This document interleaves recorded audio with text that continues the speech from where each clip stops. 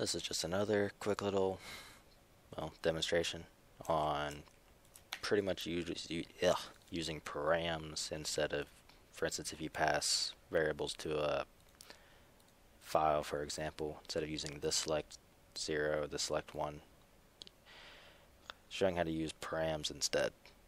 So, pretty much, I'm going to be sending in a message from the init to test file and executing it, so it'll display a hint with the message and the variable that I send in.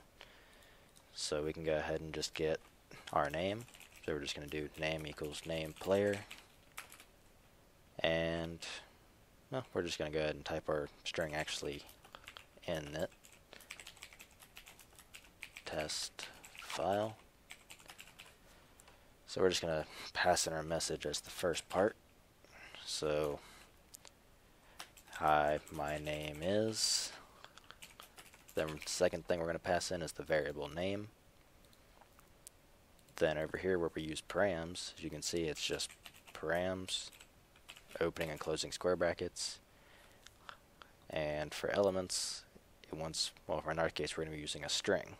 So everything you put is going to be in a string. So we're going to do message, then that'll be holding this entire string, the first thing that we send in. And we're going to do name, which holds in the second thing we're sending in.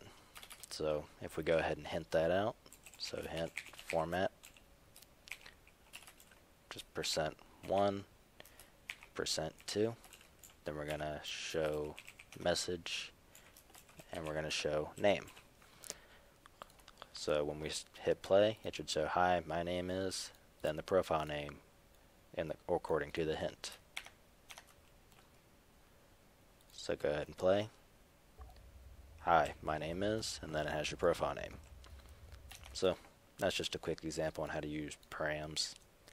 It's a little bit of a nicer way to do things.